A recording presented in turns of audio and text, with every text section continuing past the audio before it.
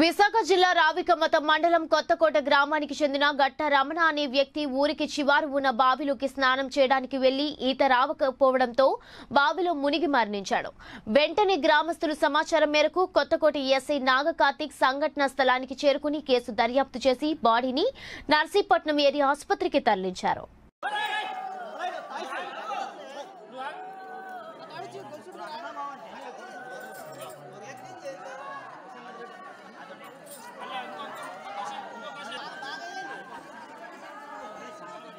లాగండి లాగండి ఇంకా లాగ లాగ లాగ లాగ అంతే.